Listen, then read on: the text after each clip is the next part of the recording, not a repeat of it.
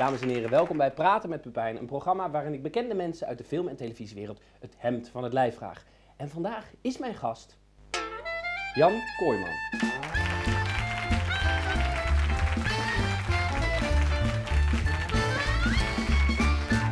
Jan Kooijman, welkom.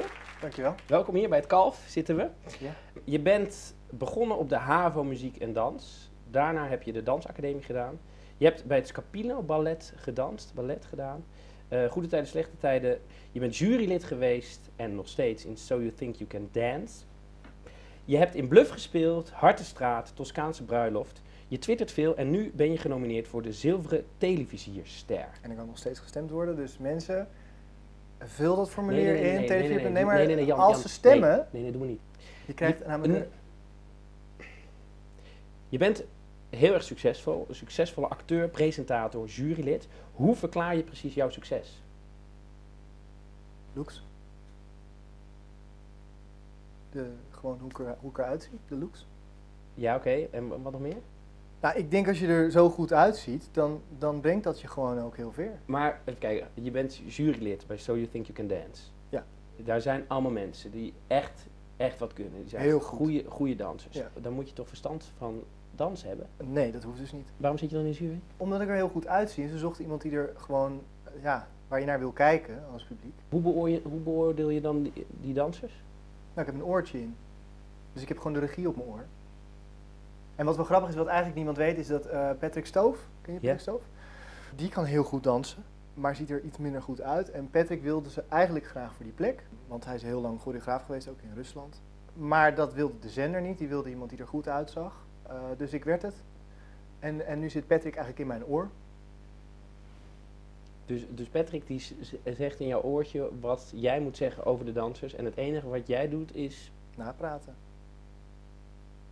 En, en gewoon er zijn, er, go- goed uitzien, shinen. Maar dit is, t- dit is toch frustrerend dat je alleen maar om je uiterlijk aan wordt genomen en niet eh, om wat je kan. Hoezo? Ik, ik ja. Eh, ik denk dat inhoud gewoon heel erg overrated is, eigenlijk. Ik snap dat mensen je knap, je bent een knappe man, je bent een knappe, knappe jongen.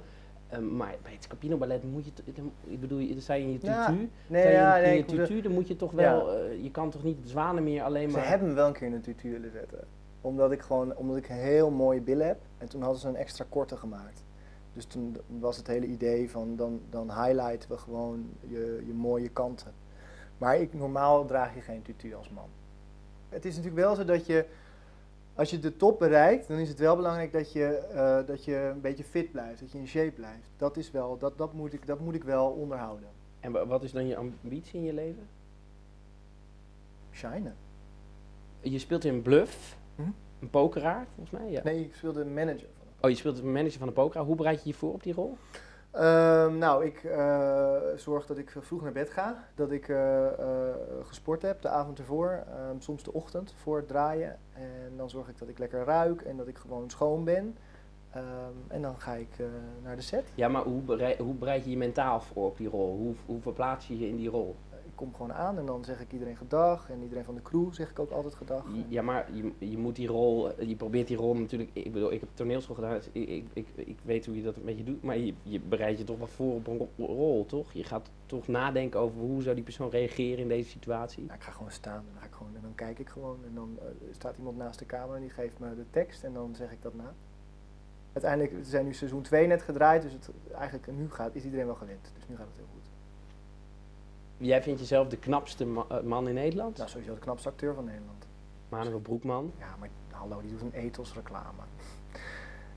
Je, je bent genomineerd voor een Gouden Televisiester. Nee, zilveren televisierster. Zilveren De gouden is voor de ring, daar is mijn programma is daarvoor genomineerd, maar eh, die ster is veel belangrijker, want die gaat om mij. Dus ik ben genomineerd voor de ster. Ja, daar ben, je, daar ben je voor genomineerd. Maar dan sta je toch echt tussen een lijstje van allemaal mensen die wel heel veel kunnen. Ik, bedoel, ik, kan, ze, ik kan ze opnoemen. Ehm, Art Rooijakkers. Saai. Art Rooijakkers is, een- is ook een knappe man. Ja, maar ik ben wel knapper. Humberto Tan. Oud. Jandino Asparaat. Hysterisch? Jeroen van Koningsbrugge. Sorry, Johnny de Mol. dat is een beetje viezig Matthijs van Nieuwkerk. geweest. Richard Groenendijk. Nooit grappig. Valerio Zena. Huber? en Jan Kooijman.